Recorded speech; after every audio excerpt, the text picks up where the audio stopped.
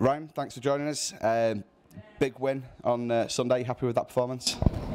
Yeah, I thought the guys played well. Um, you know, we've been pretty close in the last couple of games with that team. Um, you know, I thought uh, all, all three games could have gone either way. Um, we got some timely scoring, some great goaltending, uh, you know, and, and, found a way to, to win in a shootout. Uh, we've been a pretty good shootout team all, all season, and um, you know, it took uh, I think it took seven rounds to, to get that point. And yeah, confidence is, is high. Uh, we've been feeling good here for, for a while now, and we just want to take that into uh, to tomorrow. Um, they scored three on the power play um, on Sunday, but we've, we've looked in control when the game's been five on five. Is it key against Sheffield tomorrow night to start the box? Yeah, I think so. Um, we've done a real good job uh, keeping discipline over this uh, the last three games with them. They haven't had a lot of looks. They're, they got a great power play.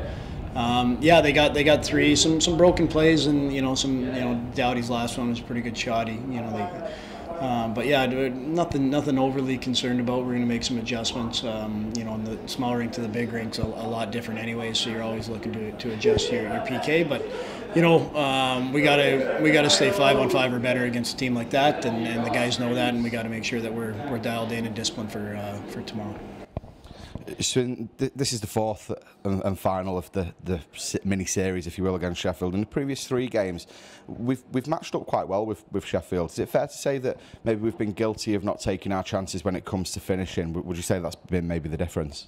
Yeah, I think execution. You know, I think we've had some looks. Um, you know, I think when you're looking at at the game, it was a two-one, then a two-nothing with an empty net, and, and then last game was a, a shootout. So they've been low, low-scoring affairs. So when you get good looks, you got to bear down, and you know they both teams have had good goaltending uh, in, in, the three game set, and I, would imagine that'll be the same for, for tomorrow. So yeah, when you do, when we get opportunities, you need guys to bear down, and we need to capitalize on, on the chances you do get. So is it a case of focusing on our game and letting results flow? Yeah, I mean, there's nothing we can do outside of outside of uh, these four walls. So we just kind of focus on uh, climbing the climbing the ladder and, and, and, taking points where we can, and and just seeing where so turning the attention then towards the weekend, it's uh, Glasgow away on Saturday night, followed by Cardiff back in the shelter on Sunday. And um, you've already said there that confidence in the room is is high um, at the moment. Those games present us with an opportunity to, to catch up with Guildford and, and potentially Glasgow too. What's the message to the team going into this round of fixtures?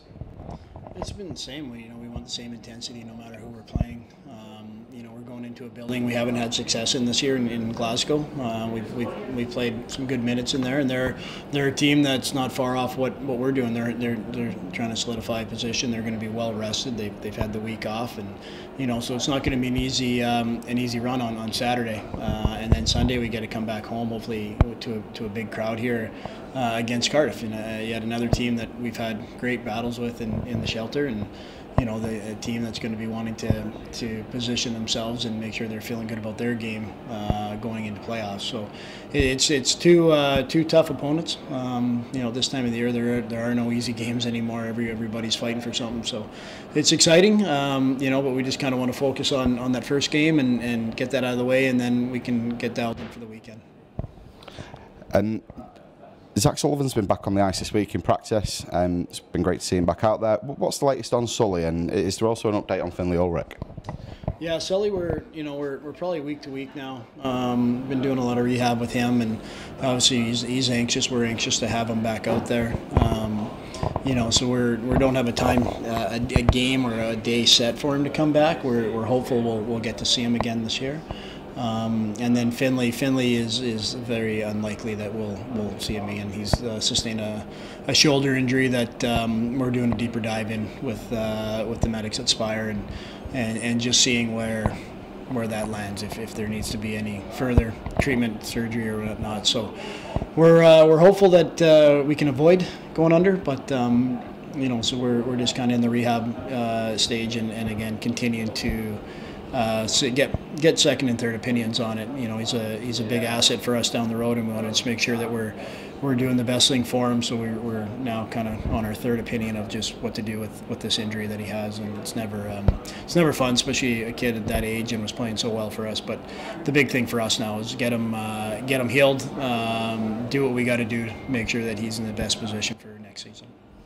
So yeah, I mean, you touched on that. Finn had kind of found himself in, in a role further up the lineup that he'd just got into, just settling into, and then he's sustained an injury, which is obviously a, a massive shame for, for him and the club. But that has presented an opportunity for Harry Gulliver to step in. And uh, a, a word on Harry's performances over the past couple of weeks. He's been awesome. Um, you know, he's, he's he's been great. He's been kind of waiting for that that role uh, all year, um, and I think it's kind of gone under the under the radar just how you know what we've done here with these young kids. We, we you know we set it out 18 months ago when we signed them all that this was this was our plan to, to build, and you know these guys now have you know are, are, playing great minutes. Finn's was playing great minutes, top nine. Harry's playing in a top nine spot. Uh, Hazeldine's now, you know, he's getting over you know, close to 20, 20 plus minutes a game.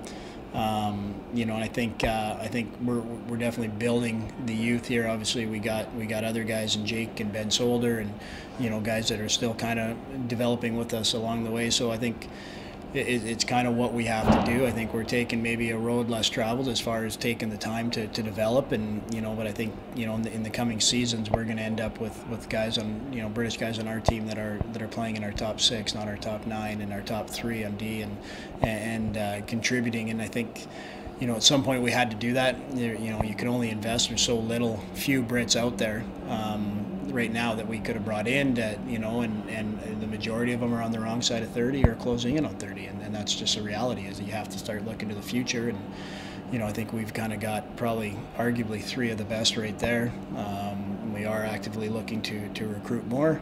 Um, we've identified a couple more that we'd like to get on our books for, for the next three seasons as well. So it's been um, it's been a you know a little bit of growing pains and, and whatnot, but at the same time, I think you know whatever the outcome of this season is, we're going to start next year with a, a potentially a different look um, and, and a lot more confidence in, in our young guys as far as where they are in the lineup. And that, that does allow us to recruit a little different and, and hopefully for uh, a stronger future.